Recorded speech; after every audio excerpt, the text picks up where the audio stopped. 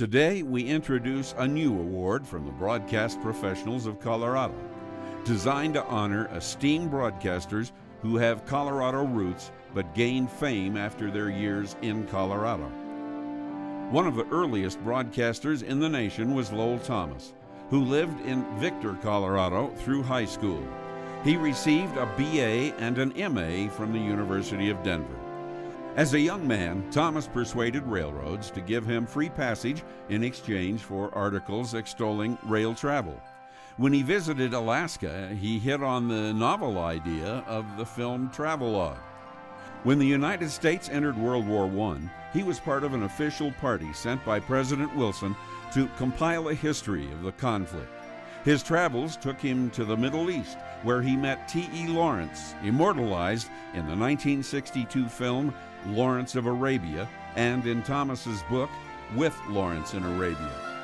Lowell Thomas' first radio appearance was on KDKA in Pittsburgh on March 21, 1925. His regularly broadcast Lowell Thomas and the News began September 29, 1930 and ran to May 14, 1976. His signature radio sign on Good evening, everybody. This is Lowell Thomas. and sign off So long until tomorrow. were among the best known in broadcast history. He narrated newsreels for the Movietone News for 17 years, delivered the first regularly scheduled TV news broadcast in 1940.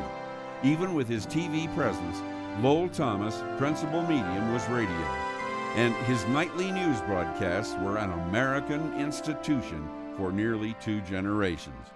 In 1976, President Ford presented him with a Medal of Freedom, and that same year, Thomas told the world from Victor, Colorado, that he was retiring from broadcasting. We are pleased to award Lowell Thomas the inaugural award we name in his honor. The Broadcast Professionals of Colorado Lowell Thomas Award.